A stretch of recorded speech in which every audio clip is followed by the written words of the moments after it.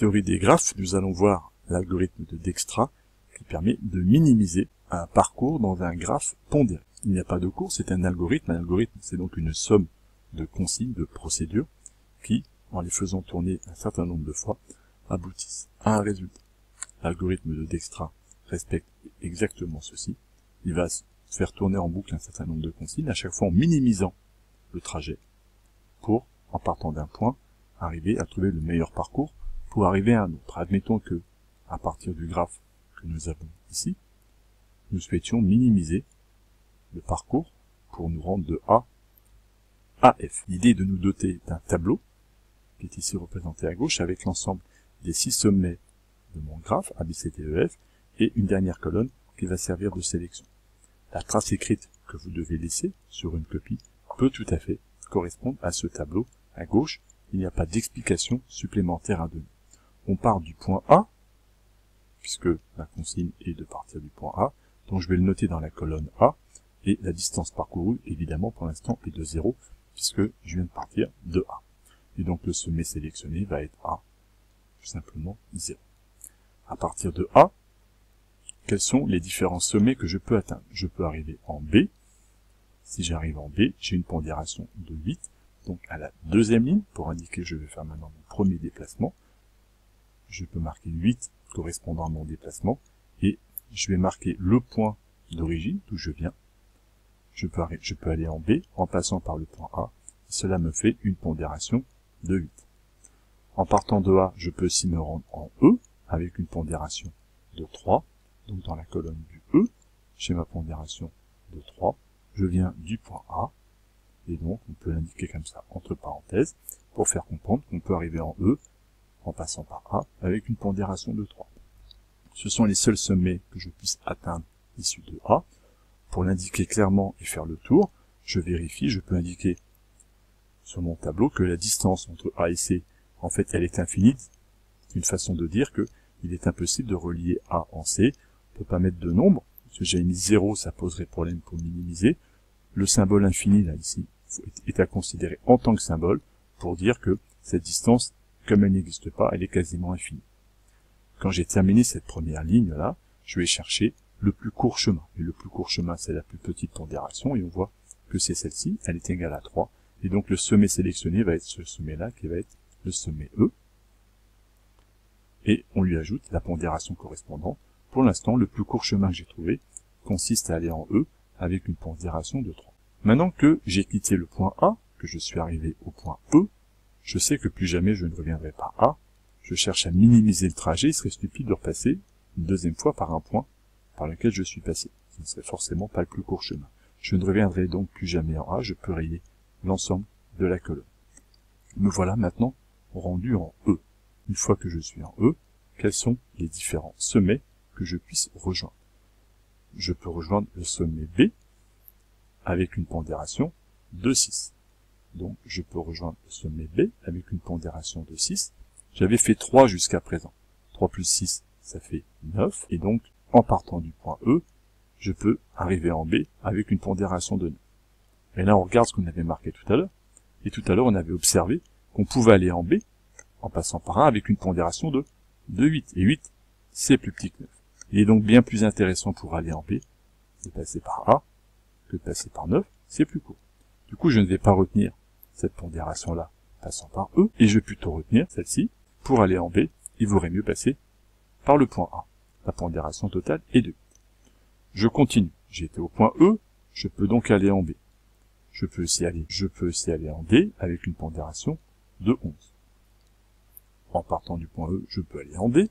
Ici, la pondération pour l'instant au point E était 3. 3 plus 11, 14. Et donc je peux aller en D en passant par E qui me fait une distance totale de 14. À partir du point E, je ne peux pas rejoindre le point C, la distance est donc infinie, je ne peux pas rejoindre le point F, la distance est infinie. Et comme je ne repasserai jamais par le point E, j'aurais dû faire tout à l'heure, on peut supprimer l'ensemble de la colonne correspondant au point. À partir des informations qui me sont données ici, le plus court chemin pour l'instant consiste à passer par le point B, et antérieurement par le point A pour une distance de 8. Je vais donc sélectionner B avec une pondération de 8. Et donc, je me retrouve maintenant au point B. Me voilà en B. En B, je peux aller en A, mais le point A a été supprimé. Je peux aller en C pour une pondération de 7, comme j'avais déjà fait 8, 7 plus 8, 15.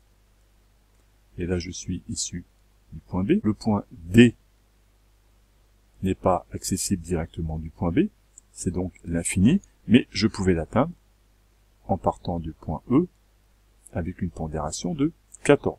Je recopie la pondération précédente qui était plus intéressante, et le point F peut être atteint avec une pondération de 10, on le voit sur le graphe, 10 qui s'ajoute au 8 que nous avions trouvé tout à l'heure, ça fait donc 18, et donc en passant par le point B, je peux atteindre le point F avec une pondération de 18. Je sais que je ne reviendrai plus jamais par le point B, donc je peux supprimer le reste de la colonne. Dans cette situation-ci, quel est le plus court chemin dorénavant? Eh bien, c'est celui-ci, 14, c'est-à-dire on peut, le chemin le plus court consiste à s'arrêter au point D et la pondération retenue va être 14. Nous voilà maintenant au point D. Comme nous sommes en D, nous n'y repasserons plus jamais. Une fois en D, je peux retourner au point A, ce qui ne m'intéresse pas, j'ai exclu ce point-là, j'y suis déjà allé. Je peux aller directement au point F, avec une pondération de 3. J'étais donc, pour l'instant, avec une pondération de 14, 14 plus 3, 17. Donc je peux, en passant par le point D, arriver au point F, avec une pondération de 17. Je vérifie avec les informations au-dessus. Je pouvais tout à l'heure aller en F avec, en passant par le point B, mais la pondération était 18. 17 est bien meilleur. Je garde donc 17. Et en partant du point D, je ne peux pas aller en C. Il y a donc l'infini qu'il faudrait mettre, mais tout à l'heure, je pouvais aller en C avec une pondération de 15. Je retiens donc cette solution pour pouvoir passer par C. Il me reste donc maintenant à choisir entre une distance de 15 et une distance de 17. Évidemment, je vais choisir la distance de 15 qui m'amène au point C. Le plus court chemin, pour l'instant, consiste à aller au point C avec une pondération totale de 15. Je choisis le point C, donc je peux supprimer le point C jusqu'à la fin de mon algorithme. Je ne souhaite pas y retourner. Du point C, je peux aller en B, mais ça m'intéresse pas. J'exclus ce point-là. Je peux aller en D, ça m'intéresse pas. Je n'ai pas d'autre possibilité. Je ne peux pas aller en F. Donc je serais tenté de mettre l'infini ici. Or, l'infini n'est pas intéressant puisque on a trouvé tout à l'heure qu'on pouvait aller en F avec 17 qui va être la valeur retenue. Et au final, je vais atteindre le point F avec une longueur de 17. J'ai terminé mon algorithme. L'ensemble de tous les sommets ont été sélectionnés un par un. Je suis parti de A, je suis arrivé à F, et la durée, la somme totale des pondérations est égale à 17. Pour déterminer le parcours optimal que nous avons trouvé, eh bien, nous, nous sommes arrivés en F. Pour arriver en F, le meilleur chemin était de passer par le point D, donc le sommet précédent était le point D. Si on se met dans la colonne de D, le sommet qui nous avait amené à D, le meilleur était le sommet E.